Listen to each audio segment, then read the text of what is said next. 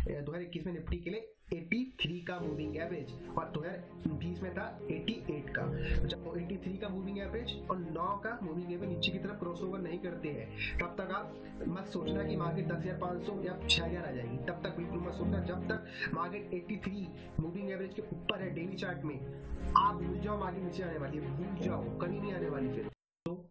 Hello दोस्तों, आप सभी का स्वागत करता हूँ एक बार दोबारा से आपके अपने चैनल पर। तो दोस्तों, निफ्टी ऑलमोस्ट अभी चौदह हज़ार के आसपास ट्रेड कर रही है और आप सभी सोच रहे होंगे, इस विचार में होंगे कि निफ्टी पी अराउंड सैंतीस एंड अड़तीस है।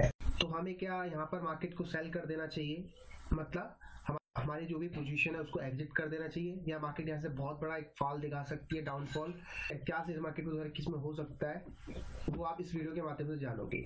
ये मेरा एक उसका पर्सनल व्यू है। दो हज़ार इक्कीस में मुझे लग रहा है मार्केट में ये चीज़ें हो सकती है। और आप ही देखो कि ये चीज़ें होगी या नहीं होगी। उसका आपको एक प्रूफ दिखाऊँगा।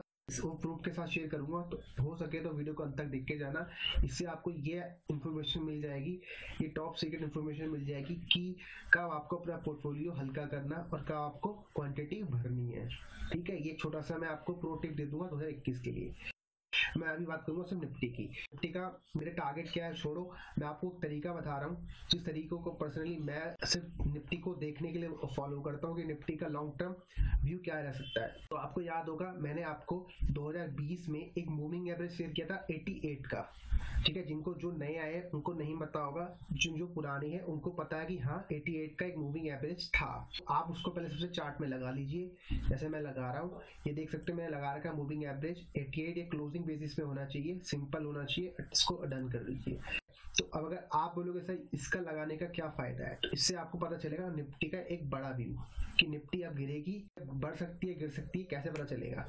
इस मूविंग एवरेज की हेल्प से आपको पता चल सकता है। तो पहले तो मैंने आपको सिर्फ़ ये 88 का मूविंग एवरेज बताया था कि आपको या ये लगा लो और जैसे मार्केट इस, इस मूविंग एवरेज के ऊपर जाएगी बाय करना है और जब नीचे आएगी सेल करना है। आपको मैं एक दो एग्जांपल दिखा देता हूँ और एक और इसमें एक मूविंग एवरेज हम और ऐड करेंगे, जिससे आपको डबल कंफर्मेशन मिल जाएगी।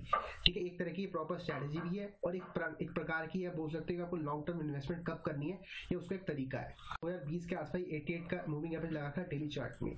आप देखते हैं हमें यहाँ पर एक अपॉर्चुनिटी मिली थी मतलब यहाँ पर पोर्टफोलियो सेल करने का। ठीक है, जो मुझे भी पता था, मैंने आपको बहुत बार वीडियो के माध्यम से अपडेट किया था। अभी हाल फ़िलहाल में मैं निफ्टी बैंक निफ्टी के लेवल्स नहीं डालता हूँ। पुराने वीडियोस देख लो, सौ, दो सौ वीडियोस पड़े हैं निफ्टी बैंक निफ्टी के। मैं आपको रोज के रोज लेवल्स प्रोवाइड किया करता था निफ्टी और बैंक निफ्टी के। तो जैसे ही इसके आसपास निफ्टी ने एक अच्छी क्लोजिंग करी, निफ्टी गिर गई। लेकिन यहाँ पर हमें एक पूरा संकेत नहीं मिला था कि गिरेगी, नहीं गिरेगी। तो अभी एक मूविंग एवरेज मैं लगाऊँगा एक और, उससे आपको आपको कंफर्मेशन मिल जाएगी। अब आपको आगे लेके चलता हूँ। जून, जुलाई में दोस्तों आप देख सकते हो जैसे ही मूविंग एवरेज के ऊपर निफ्टी ने क्लोजिंग करी, निफ्टी में एक रिकवरी आ गई। तो दोस्तों, आप सोच वाली बात है कि निफ्टी ने हमारे मूविंग एवरेज में ही सपोर्ट क्यों लिया 88 के? मैं ये नहीं कह रहा हूँ कि हमारा मूविंग एवरेज बहुत बढ़िया है। मैं ये कहना चाहता हूँ, अगर आप दूसरा मूविंग एवरेज भी लगा के देखोगे 200 का तो आपको उतनी अच्छी कन्फर्मेशन और उतना अच्छा रिज़ल्ट नहीं मिल पाएगा। इसलिए मैं बोल रहा हूँ, आप इसको अप्लाई करो और जो 88 का मूविंग एवरेज है, ये आपका 2020 के लिए था, ठीक है?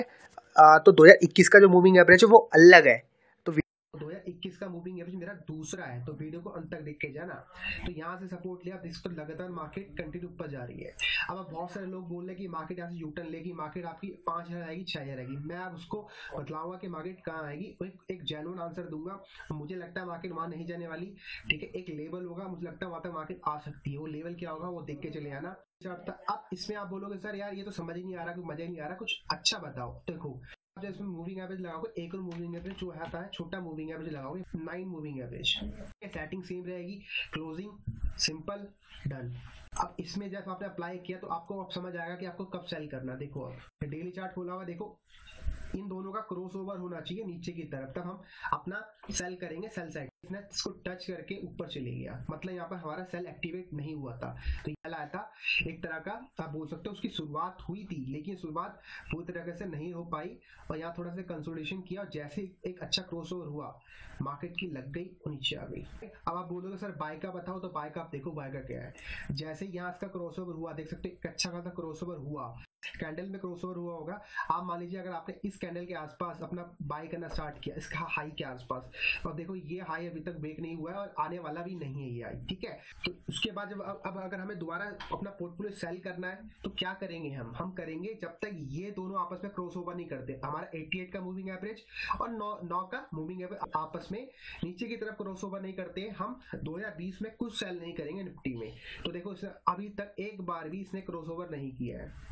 और मुझे लगता है क्रॉस होने वाला भी नहीं है। मार्केट दोबारा जब नीचे आएगी तो क्रैक्ट होके इस, इसी मूविंग एवरेज के आसपास सपोर्ट लेगी। इस तरीके से मैंने निफ्टी को फॉलो किया है 2020 में। अब 2021 में निफ्टी में क्या होगा, उसकी हम डिस्कशन कर लेते, चर्चा कर लेते। 2020 की तो बात हो गई। अब 21 में क्या होगा, वो बताओ ना सर तो 2021 में जो मेरा मूविंग एवरेज निकल के आता है, वो निकल के आता है 83 का। ठीक है? 88 का नहीं है मूविंग एवरेज वो है 83 का। इसको चेंज कर लो 83 में। 83 का मूविंग एवरेज लगा लो। अब अब होगा क्या? मार्केट जब नीचे गिरेगी तो इसी मूविंग एवरेज के आसपास सपोर्ट लेगी। तब तक आप निफ्टी को सेल मत करना, एक लॉन्ग टर्म सेल बोलते हैं ना लॉन्ग टर्म मतलब कि मार्केट यहाँ से दस पाँच सौ, नौ पाँच सौ आ जाएगी, एक लॉन्ग टर्म व्यू बोल रहा हूँ मैं। जब जब तक ये आप द्वारा नीचे की तरफ़ दोनों तो 83 का मूविंग एवरेज और 9 का मूविंग एवरेज नीचे की तरफ़ क्रॉस ओवर नहीं करते हैं।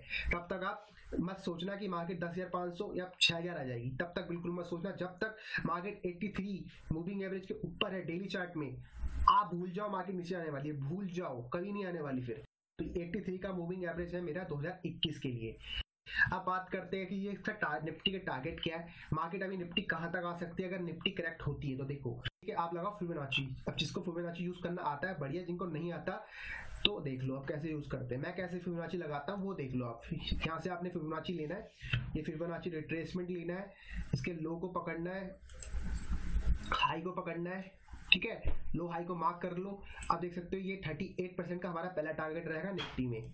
ठीक है? 38 परसेंट जो निकल के आता है आपका, चौदह हज़ार तीन सौ इक्यासी के आसपास दूसरा टारगेट रहेगा पंद्रह हज़ार पाँच सौ का हमारा निफ्टी में। ठीक है? तो पहला टारगेट चौदह हज़ार तीन सौ इक्यासी, और दूसरा टारगेट रहेगा पंद्रह हज़ार पाँच सौ उनसठ का।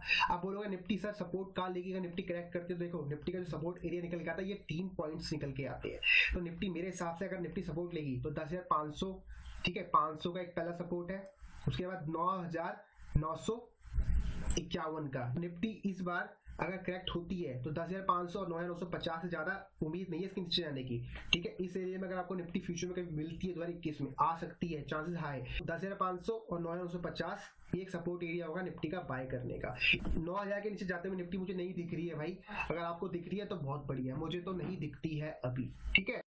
दो हज़ार इक्कीस में निफ्टी के लिए 83 का मूविंग एवरेज और दो हज़ार बीस में था 88 का। जब तक नाइन मूविंग एवरेज और 83 मूविंग एवरेज नीचे की तरफ़ क्रॉस ओवर नहीं करते हैं डेली चार्ट में आपको सेल नहीं करना है, ये दो मूविंग एवरेज यूज़ करो निफ्टी में 2021 के लिए डेफिनेटली आपका कुछ ना कुछ बेनिफिट होगा।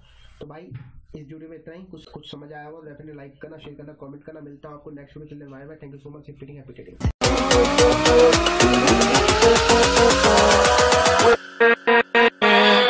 with